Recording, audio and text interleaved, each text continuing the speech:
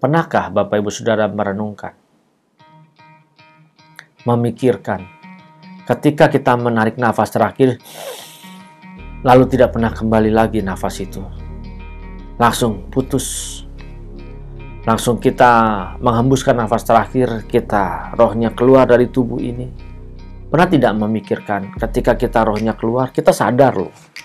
Kita mungkin melihat jasad kita sendiri, kita melihat orang-orang yang kita sayangi, kita melihat orang-orang di sekitar kita, orang-orang yang kita kasihi.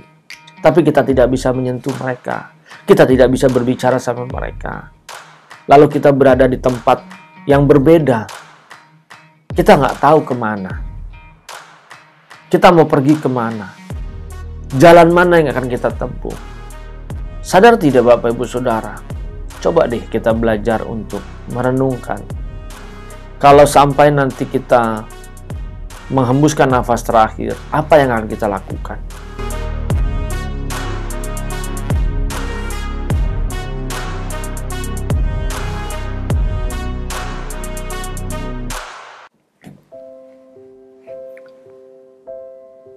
Shalom Bapak Ibu Saudara, kita berjumpa kembali saat ini bersama dengan saya Bu Yungko Saputra. Saat ini kita berada di channel CPS Television.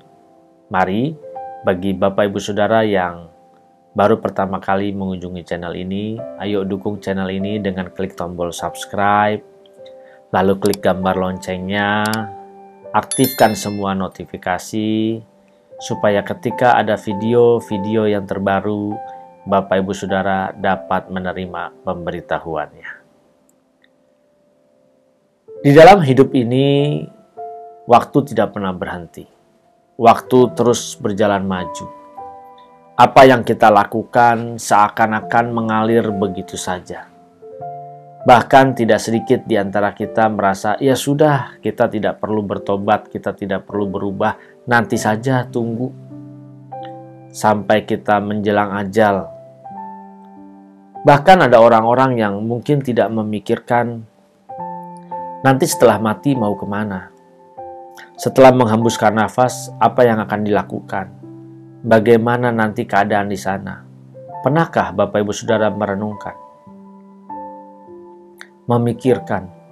Ketika kita menarik nafas terakhir, lalu tidak pernah kembali lagi nafas itu. Langsung putus. Langsung kita menghembuskan nafas terakhir, kita rohnya keluar dari tubuh ini Pernah tidak memikirkan ketika kita rohnya keluar, kita sadar loh. Kita mungkin melihat jasad kita sendiri, kita melihat orang-orang yang kita sayangi, kita melihat orang-orang di sekitar kita, orang-orang yang kita kasihi. Tapi kita tidak bisa menyentuh mereka, kita tidak bisa berbicara sama mereka. Lalu kita berada di tempat yang berbeda. Kita nggak tahu ke mana. Kita mau pergi ke mana. Jalan mana yang akan kita tempuh Sadar tidak Bapak Ibu Saudara? Coba deh kita belajar untuk merenungkan. Kalau sampai nanti kita menghembuskan nafas terakhir, apa yang akan kita lakukan? Kita nggak tahu apa-apa. Saat ini memang kita belum sampai di level itu karena kita masih hidup, masih bernafas, tetapi ada saatnya setiap kita, Bapak Ibu Saudara, pasti akan berhenti bernafas, termasuk saya. Ada saatnya kita pun akan meninggalkan dunia ini, meninggalkan orang-orang yang kita sayangi, orang-orang yang ada sekeliling kita, sanak famili kita. Waktunya nggak tahu kapan, bisa cepat, bisa lama. Tetapi sering sekali kita membiarkan, menyia-nyiakan waktu hidup kita selama di dunia ini. Kita tidak mengisinya dengan benar, kita tidak mengisinya dengan baik kita tidak mengisinya dengan menyukakan dan menyenangkan hati Tuhan. Perlu kita akui, perlu kita jujur, kita selalu mengisinya dengan menyukakan dan menyenangkan daging dan jiwa kita sendiri-sendiri. Tetapi semua itu yang kita lakukan pasti akan membawa dampak di dalam kehidupan di balik kubur nanti. Di sini saya mau memberitahukan, mengajak kita berpikir, merenungkan, ingat Bapak Ibu Saudara, ada kehidupan di balik kubur ada kehidupan setelah kematian. Yang kita tahu hanya surga dan neraka.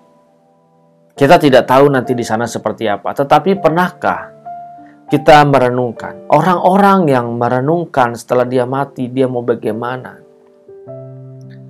Contoh begini deh Bapak Ibu Saudara, misalnya kita lagi berdiam diri, terus tiba-tiba kita merenungkan, kita keluar dari tubuh kita, di tempat yang asing, di tempat yang menurut kita kita belum pernah, kita nggak tahu, di alam yang berbeda. Kita nggak tahu ke mana, tapi ada kehidupan di sana. Sadar tidak? Ada kehidupan, Bapak Ibu Saudara. Di balik kubur itu ada kehidupan, dan kehidupan itu kekal. Bukan sementara seperti kita hidup di dunia ini yang hanya 70 tahun sampai 90 tahun kalau kita kuat. Tetapi ada kehidupan kekal yang selama-lamanya. Kalau Bapak Ibu Saudara hidup di dunia ini saja sudah menderita, Apakah Bapak Ibu Saudara masih mau hidup menderita ketika nanti di balik kubur? Kalau saat ini hidupnya saja sudah susah, apakah nanti masih mau hidup susah di dalam kekekalan yang tidak ada batas waktunya, alias selama-lamanya Bapak Ibu Saudara? Kehidupan yang menyenangkan di balik kubur kalau kita mengenal Tuhan.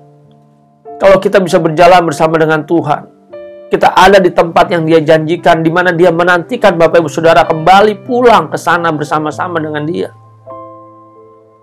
Tetapi sangat disayangkan banyak manusia tidak pernah mau memikirkan, merenungkan.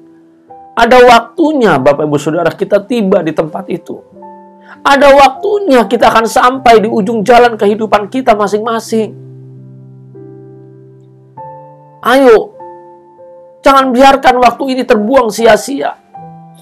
Kita harus mempersiapkan hidup kita. Kita harus bisa benar-benar meyakinkan, memastikan bahwa kita sampai di tempat yang Tuhan nantikan nanti, yang Tuhan janjikan, yaitu di langit yang baru dan bumi yang baru. Butuh perjuangan, Bapak Ibu Saudara. Betul, darah Yesus sudah menebus kita, menyucikan kita.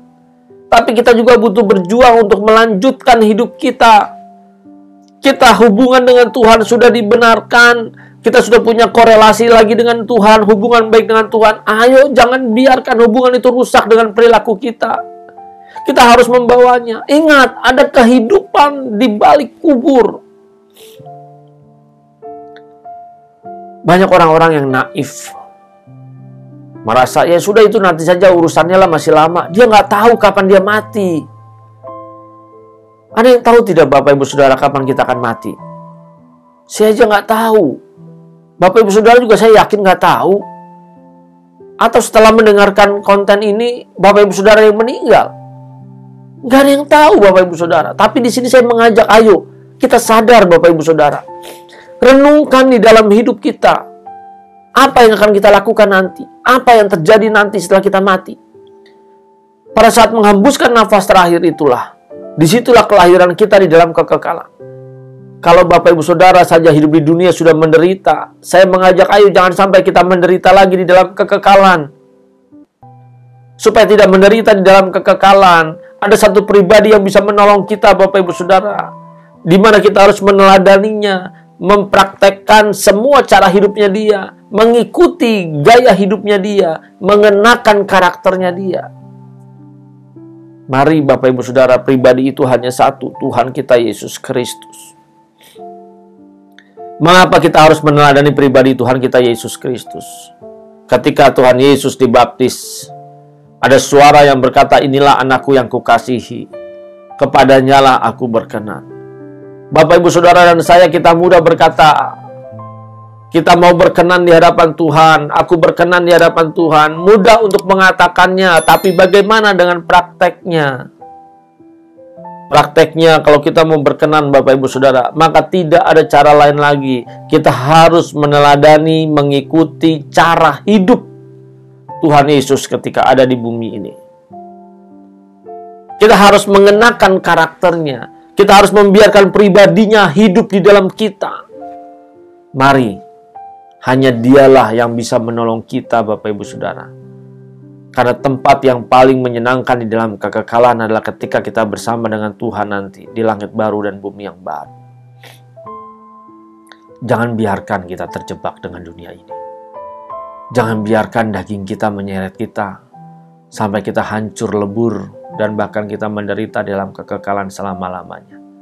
Mari Bapak Ibu Saudara, selagi Bapak Ibu Saudara bernafas, masih mendengarkan, melihat konten saya ini, pasti Bapak Ibu Saudara masih memiliki kesempatan untuk berubah. Jangan sia-siakan kesempatan tersebut. Pakai kesempatan itu untuk kita dapat mempersiapkan hidup kita mempersiapkan kehidupan kita di balik kubur nanti. Ada kehidupan di balik kubur. Tinggal kehidupannya nanti kita dimuliakan bersama dengan Tuhan atau dimurkai oleh Tuhan. Hanya ada dua itu Bapak Ibu Saudara. Kalau kita dimuliakan dengan Tuhan, berbahagialah kita bersama-sama dengan Tuhan.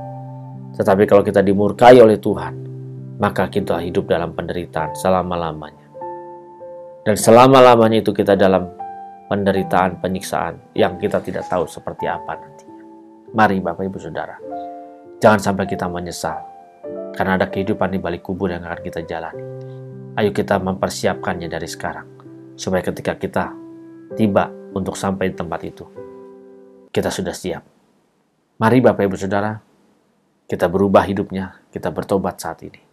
Bagi Bapak Ibu Saudara yang diberkati, jangan lupa berikan tanda like, Silakan tinggalkan komentar di kolom komen dan jangan biarkan berkat ini berhenti. Ayo ajak sanak famili kita, saudara kita, berkati mereka dengan cara apa? Kirimkan video ini kepada mereka, share video ini kepada mereka. Di situlah Bapak Ibu Saudara sudah memberkati mereka, sudah ambil andil memberkati mereka. Biarkan juga channel ini menjadi berkat bagi banyak orang. Bagi Bapak Ibu yang baru pertama kali mengunjungi channel ini, ayo dukung channel ini dengan klik tombol subscribe, klik gambar loncengnya, aktifkan semua notifikasi supaya setiap ada video-video yang terbaru yang saya upload Bapak Ibu Saudara dapat menerima pemberitahuannya.